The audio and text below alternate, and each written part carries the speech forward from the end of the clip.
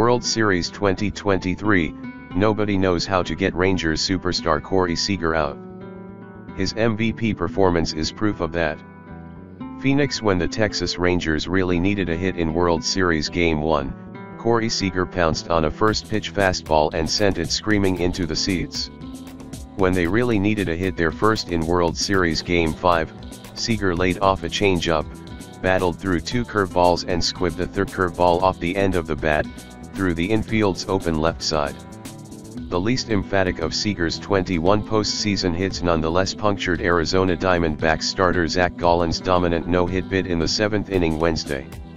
Soon enough, Seager was touching home plate with the game's first run. And soon after that, the Rangers were claiming the first World Series in franchise history, with Seager becoming the fourth player and second hitter to earn World Series MVP honors twice. It concluded a game, a series, a postseason, and a year in which Seager ascended to a new level in the batter's box.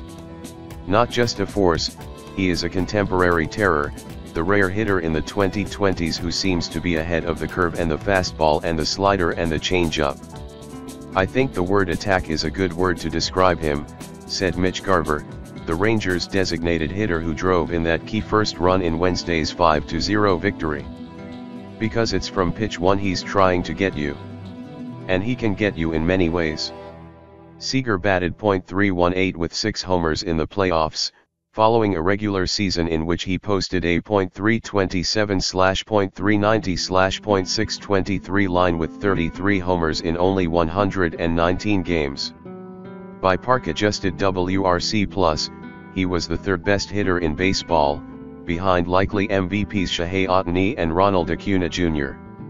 Cut from the Cal Ripken Jr. cloth of shortstop, Seager has been a feared hitter since he arrived in the big leagues with the Los Angeles Dodgers in 2015. Yet the 2023 version of Seager that will be immortalized in World Series lore was a cut above even his past exploits.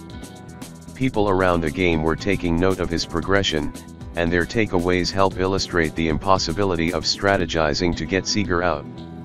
Diamondbacks manager Torey Lovullo, who joked that he sent a limo to take Seager away from the NL West rival Dodgers when the shortstop signed his $325 million deal with Texas, views the 29-year-old's peak as a product of selectivity.